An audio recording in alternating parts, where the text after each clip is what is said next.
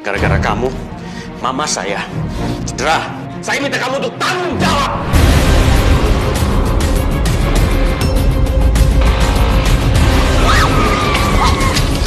Peluang besar untuk Pak Kevin menghancurkan Nana.